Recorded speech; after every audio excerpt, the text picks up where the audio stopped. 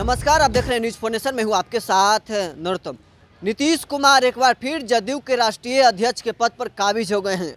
ललन सिंह राष्ट्रीय अध्यक्ष के पद से इस्तीफा दिए हैं, उसके बाद मुख्यमंत्री नीतीश कुमार के हाथों में अब जदयू की कमान हो गई है। ऐसे में अब पटना में पोस्टर लगाया गया है बड़े बड़े पोस्टर पूरे पटना में लगाया गया है, जिसमें नीतीश कुमार को बधाई दिया जा रहा है कि नीतीश कुमार अब राष्ट्रीय अध्यक्ष बनने हैं, संगठन अब मज़बूत होगा। लेकिन इस पोस्टर में खास बात है कि ललन सिंह को इस पोस्टर से गायब कर दिया गया है। पहले जदयू कार्यकारिणी की बैठक से पहले दिल्ली प्रदेश के द्वारा लगाया गया पोस्टर में ललन सिंह को गायब किया गया।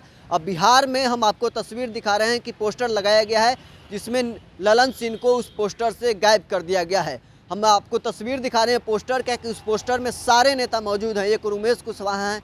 दूसरी ओर मुख्यमंत्री नीतीश कुमार हैं श्रवण कुमार हैं, संजय झा हैं, अशोक चौधरी हैं, विजय चौधरी है, विजेंद्र यादव हैं। जदयू को वो सारे बड़े चेहरा इस पोस्टर में है, लेकिन ललन सिंह उस पोस्टर से गायब हैं। ललन सिंह अभी भी पार्टी के संसदीय दल के अध्यक्ष हैं, लेकिन पोस्टर से वो गायब हो चुके हैं।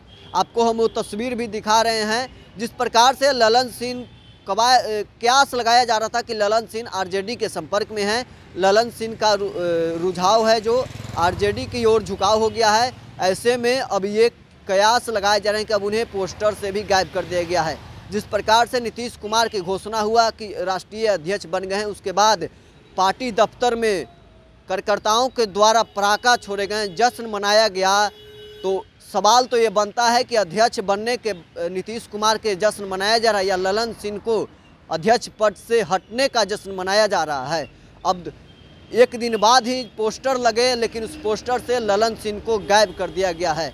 जिस प्रकार से पूर्व अध्यक्ष रह चुके हैं, जो शरद यादव वो पद से हटे हैं, उसके बाद वो पार्टी में नहीं रहे, वो आरजेडी में चले गए थे। आरसीपी सिंह भी अध्यक्ष बने, लेकिन वो अध्यक्ष पद से हटने के बाद उनका भारतीय जनता पार्टी की तरफ़ झुकाव हो गया और वो भारतीय जनता पार्टी में शामिल हो गए।